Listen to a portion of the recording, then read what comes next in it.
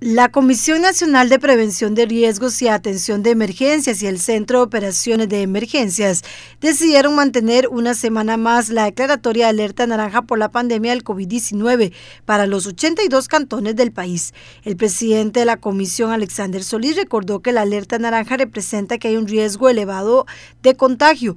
De allí que se exhorta a la ciudadanía a mantener con rigurosidad las medidas sanitarias de prevención y completar su esquema de vacunación.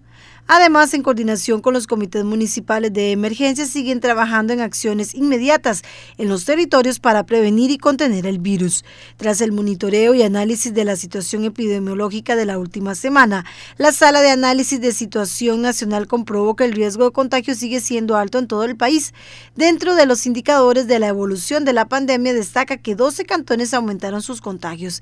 Esta lista aparece en dos cantones de la zona sur con aumento de casos durante la última semana. Se trata de Buenos Aires, que tuvo un incremento del 15%. En la semana del 19 al 25 de septiembre sumaba 79, pasó a 91 en la semana del 26 de septiembre al 2 de octubre. En el caso de Cotobruz pasó de 127 casos en la semana del 19 al 25 de septiembre a 128 en la semana del 26 de septiembre al 2 de octubre, para un aumento del 1%. Las autoridades replicaron la necesidad de mantener los protocolos sanitarios en los hogares y lugares de trabajo y llamaron a quienes no han recibido ninguna dosis de la vacuna a sumarse a la campaña de vacunación, así como a aquellos que ya recibieron su primera a que no dejen pasar la fecha de aplicación de su segunda vacuna.